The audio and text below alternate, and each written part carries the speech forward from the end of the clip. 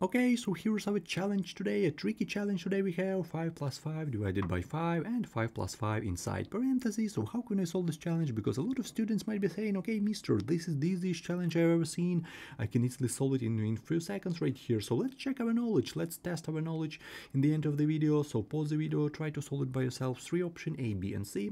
So choose one option what do you think is the correct answer to this challenge and write your option down into the comment section. We will check our answers in the end of the video, so it will be really interesting. So first of all, here's our challenge and let's rewrite this challenge right here. Okay, so what do we have right here? We have 5, we have plus 5, divided by 5 and we have 5 plus 5 inside parentheses. So here's our challenge 5 plus 5 inside parentheses.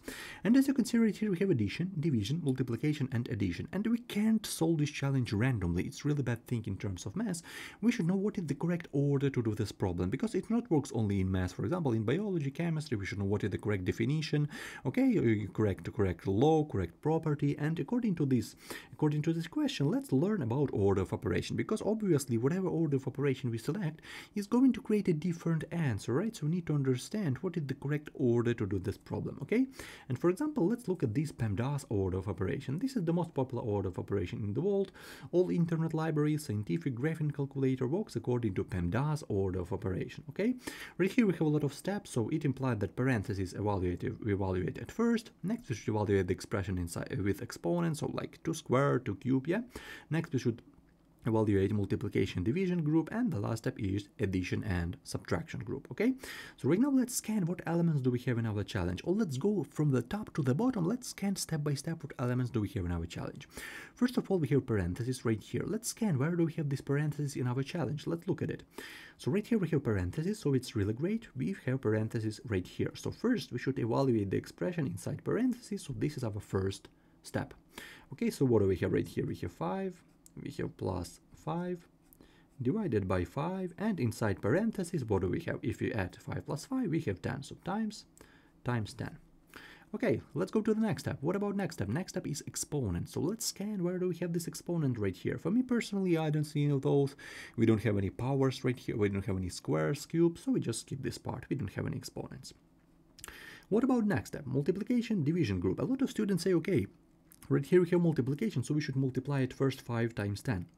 But it not works like that.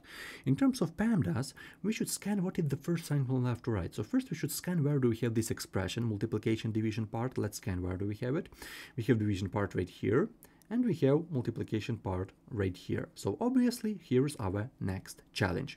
So because of this uh, same uh, because of multiplication and division have the same priority so we should scan what is the first sign from left to right. Doesn't matter. Multiplication division we should scan what is the first sign from left to right. And according to this according to this expression first sign from left to right is this division. So we should divide 5 divided by 5 okay so we have 5 plus 5 divided by 5 which is equal to 1 yeah we have 5 divided by 5 equal to 1 and times and times 10 okay so right here we are dividing at first. So right here we have second step division. It works only to this case. It's not the division second step and multiplication third step.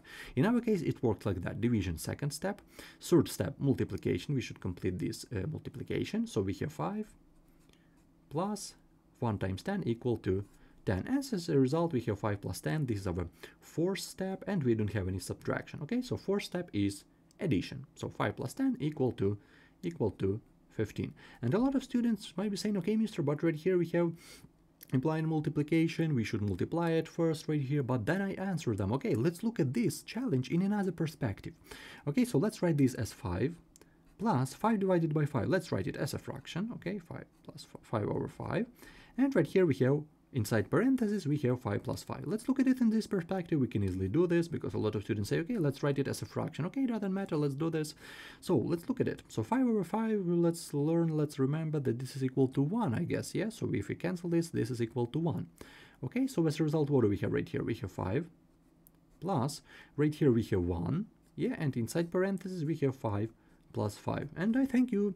You can easily see that right here 5 plus 5 equal to 10 10 times 1 equal to 10 and we have the same 15 okay doesn't matter. We have the same 15 which is option C.